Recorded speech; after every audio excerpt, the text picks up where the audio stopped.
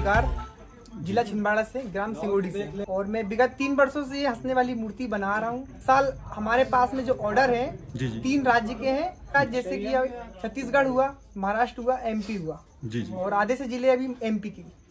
अच्छा आप ये मूर्ति बनाने का काम कब से कर रहे हैं?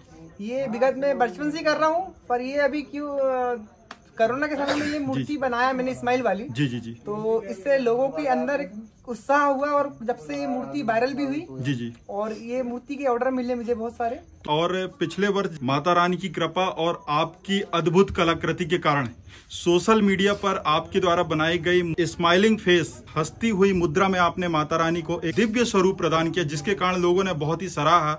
लोगों के बीच में आप बहुत लोकप्रिय हुए। उसके पहले से और सोशल मीडिया की एक्टिविटी के बाद आपके पूरे ऑर्डर में आपके काम में कितना परिवर्तन आया? आपको कितना ऑर्डर मिला पिछली बार? अ, पहले से काफ़ी ऑर्डर है। पहले तो लगभग लगभग दो तीन ज़िले चार ज़िले में जाती थी। जी जी। पर अब ज़िले के बाद तो छोड़ो अभी तो राष्ट्र स्तर तक मूर्ति जाएगी मतलब बाहर बाहर राज्य में जा रही है अभी।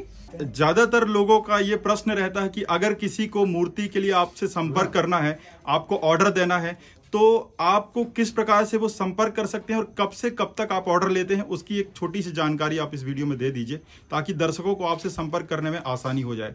ऑर्डर लेने का समय है दशहरे के बाद से ग्यारह तक दीपावली ग्यारह तक। जी जी। इस समय में हम ऑर्डर लेते हैं लगभग जितने भी ऑर्डर हो जाएँ जी जी। फिर उस काम को साल भर करते हैं और इस अंतिम काम को फिर स्वरूप देते हैं।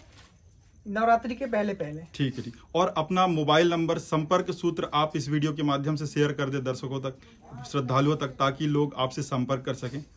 तो मेरा नंबर है दो नंबर है मेरा पर जी। एक नंबर में दे रहा जो पर्सनली है। जी जी। Seven eight two eight two four six one five two.